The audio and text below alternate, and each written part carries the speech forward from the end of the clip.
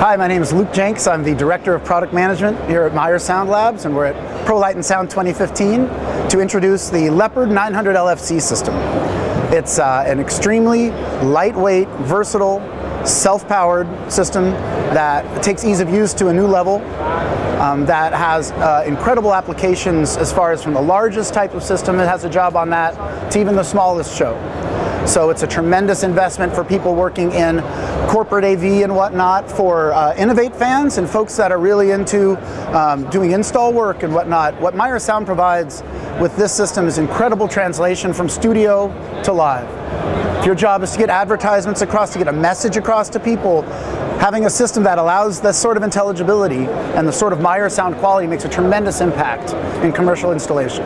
So one of the big concerns when uh, in, in the modern uh, world of doing sound reinforcement is weight. And the Leopard system, each Leopard comes in around 34 kilos. This is a self-powered system that's incredibly powerful. So you're getting incredible power, all the advantages of self-powered with the same weight as a conventionally powered system.